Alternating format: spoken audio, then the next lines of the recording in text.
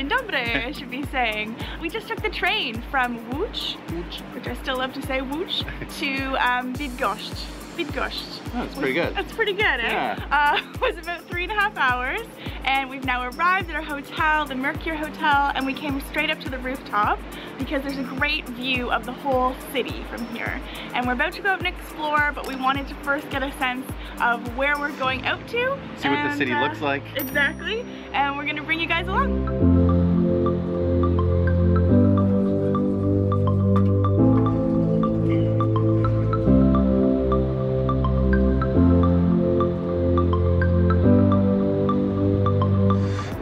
Crossing the bridge into the old town in Bydgoszcz and there's a really cool sculpture here of a man on like a tightrope.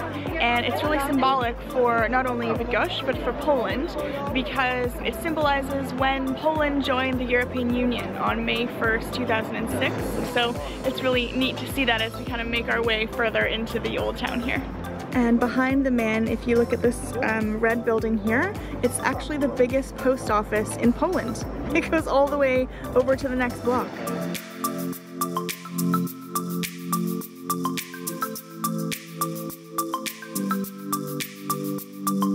All right, we're gonna go grab some lunch now at a restaurant called Kuchnia and uh, looking forward to seeing what we find there. Here's Kuchnia in this cool covered area.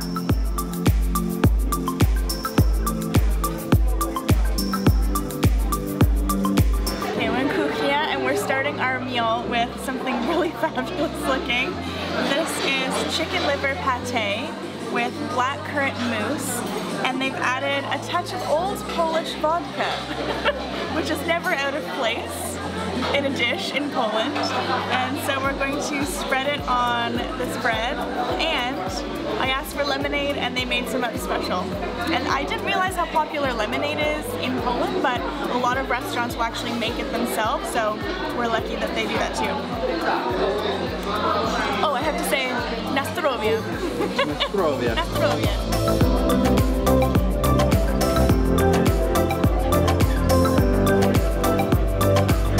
Main dish has arrived and I ordered the chicken breast with peas polenta and cheese sauce. And it's like the appetizer, it's so nice looking that I kind of don't want to eat it. but also smells so good that I, let's be real, I do want to eat it. so I'm gonna start. I got a local fish called Zander, so I'm excited. I don't think I've ever had Zander. I don't even know what that is, where it comes from, what it tastes like, but it looks good. I like that it's a local fish. I do too.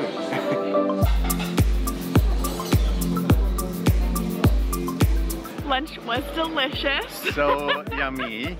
That was really good. And now we are walking through the beautiful market square The here and going to a place that sounds really interesting, but I've never heard of anything of its kind. I'm not sure it, it exists anywhere else in the Yeah, world. I don't actually think that it does. So that's where we're heading next.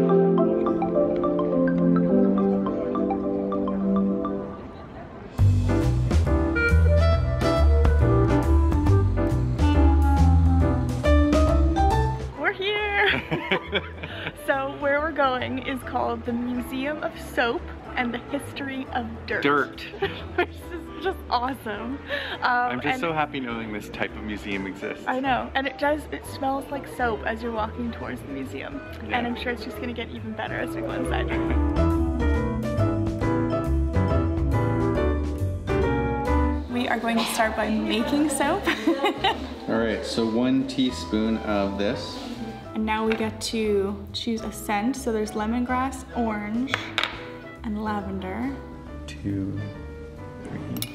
It's looking not quite like soap yet, but we're gonna get there. Which mold to choose? I'm gonna go with this one. You're going Bundt? I'm going Bundt. All right. Yours looks like laundry detergent. Yeah. Mine looks really pretty actually. Congratulations, you may be on soap. Now I will just put it into the fridge.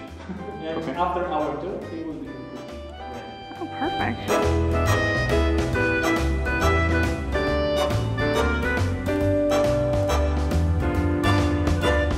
We finished got our our soaps. They've emerged from the fridge in solid form and wrapped up so nicely. and it's a nice way to end our tour here. yeah, it is. I feel like I learned a lot about not only dirt and soap, but just hygiene in general and the history of hygiene. And now I have a little hygienic product to take with me. I definitely have a much greater appreciation for soap and cleanliness in general. Absolutely. I can't wait to use this. Yeah.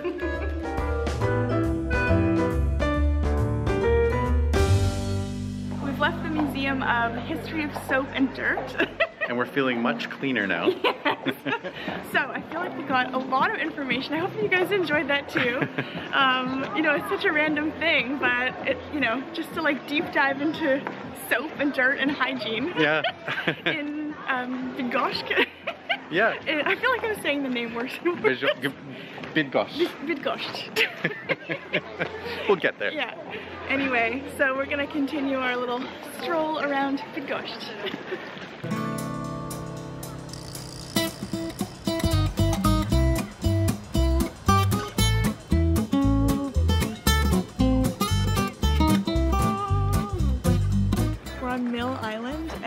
Just walking over to the river. and there's a beach here. And this sand apparently was trucked in from the Baltic Sea. So this is legit Baltic sand to form their very own beach.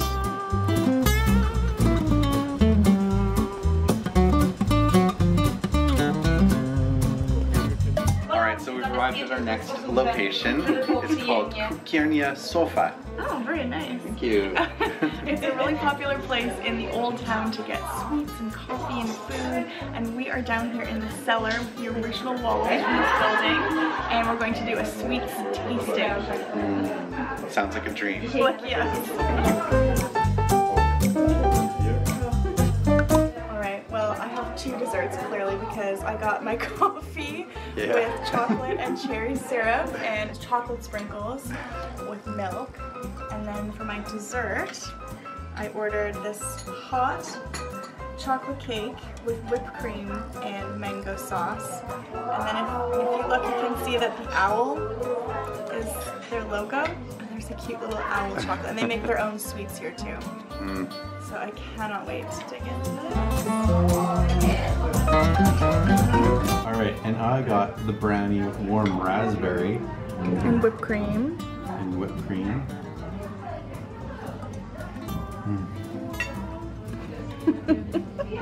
That's a big I'm brownie. sorry, I need a minute here.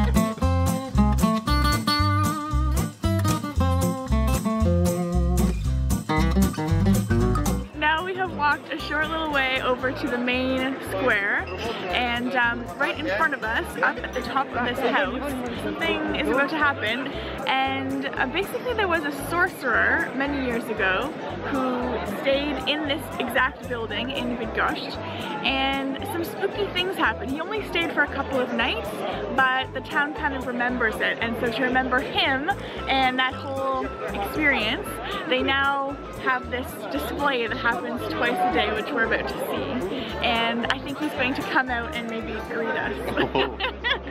So that's what we're waiting for now.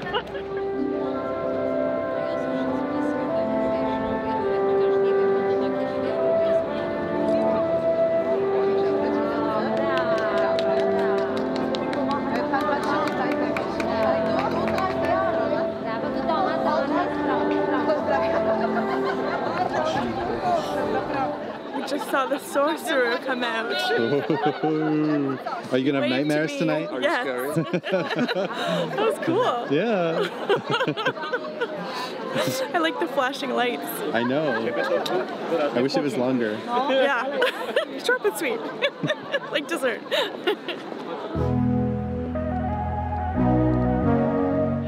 Cool. I think it's That nice cool. that they do that like twice a day though. Honoring the sorcerer. Yeah. Yeah, It's pretty cool. You stay in a place for a couple of nights and then twice a day for the rest of time. That's incredible. People remember your stay. I also love knowing that that um, window is just used for that yeah, purpose. yeah, and you have no idea if you just like walked by at any Yeah. other time of day. anyway, if you can believe it, we still have some room left in our bellies. Um, so we're on our way to have more food, more Polish food at a brew house.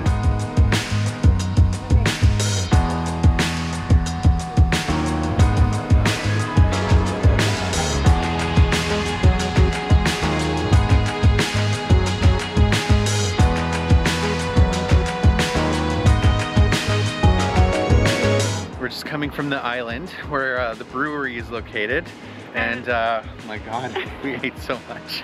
we ate a lot today. It's been such a good introduction though to Bydgoszcz. And uh, we're gonna head back to our lovely hotel now and digest all of the food we've had today. Get some rest. And get some sleep because the adventure continues in the morning. Mm -hmm. So we will see you guys then. Good, good night. night.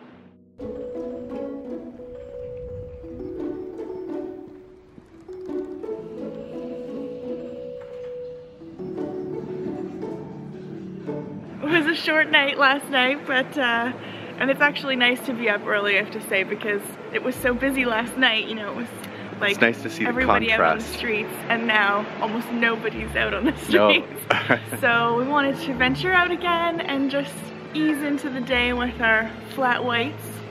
And uh, we're heading to back to Mill Island, where we were yesterday, to have a little picnic. Mm -hmm. Because what better way to start the day?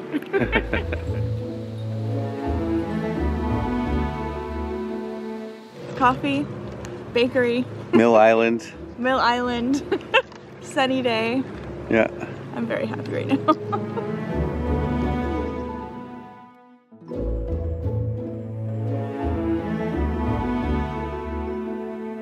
we finished our picnic and it's nice to just slow down and feel the, the pace of the city going around you slowly on a Sunday morning. And we picked this picnic location because it's right by the water and there's a lot of rivers and a canal here in Bydgoszcz and there's like 38 or 40 bridges here. So we are going to get on a boat now uh, which is a lovely way to spend a Sunday morning and just get a different view of the city and see it from the water. So I think our ride is here. Did you bring your water wings, Mark? Oh, I should have brought them. Just gravel. in case. oh, no. I never You'll be fine. It looks pretty calm out. Yeah. You'll be fine. Yeah. Here we go. All aboard. All aboard. Dzień dobry. Hello. Hello. Nice to see you. Good morning. Nice to see you. We just got on the boat and didn't know this, but the picnic is going to continue because there's a beautiful spread here of local cheeses, four different kinds, um, local wine, because this is actually a wine region in Poland, and homemade marmalade. So I'm glad that I still have some appetite left.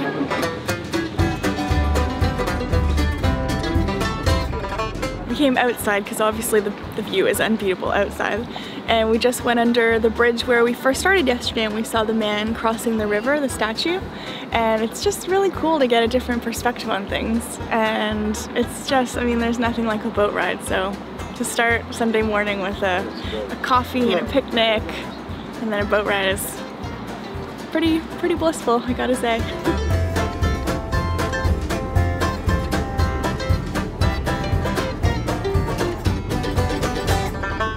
Just got off the boat and we're going to a houseboat now.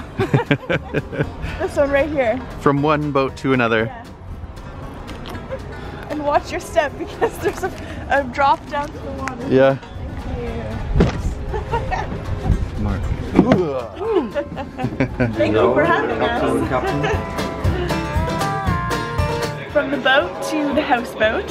Which I think I could live in. It's really nice. It's this, so sweet This here. is actually someone's home. It's yeah. a private home. It was built in Bydgoszcz. So I didn't realize that they had, you know, a big boat building um, industry here. But it's really wide, so it doesn't, it feels very spacious yeah. inside. And we're gonna continue the picnic party on the river.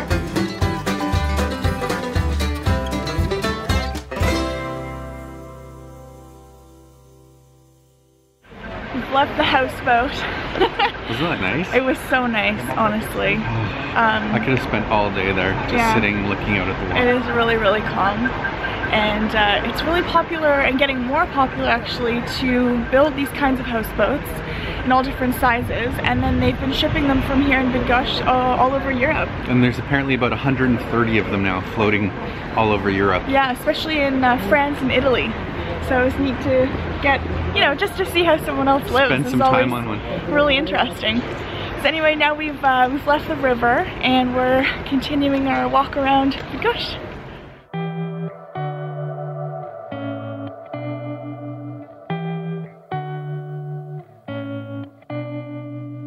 There's a lot of really beautiful tenement houses here. And this one street is just beautiful house after beautiful house after beautiful house. And now there's like shops in the bottom and apartments up top. You get to live in a gorgeous place.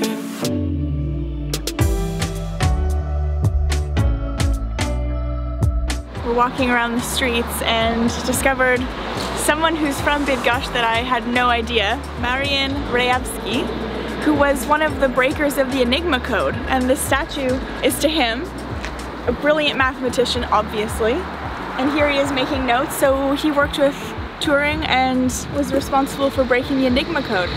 Amazing. Yeah. Yeah. We finally meet the archer lady of Bydgoszcz.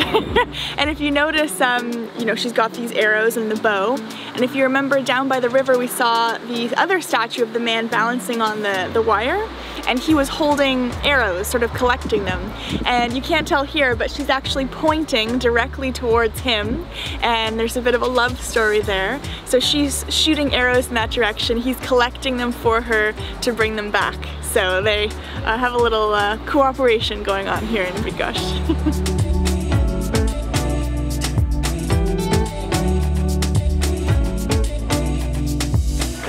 many beautiful green spaces in this city. It's absolutely lovely. We're in the oldest park in Bydgoszcz now and just saw a beautiful fountain by the same designer who did the Archer Lady. And uh, it's beautiful. This is the end of the video. we're leaving Bydgoszcz now and we're very sad to leave. This has really been a lovely place to visit. So I hope that you guys have enjoyed it as much as we have. And if you liked the video, remember to give it a like. And of course, subscribe for lots more travel adventures. And we'll see you in our next video. Bye. Bye.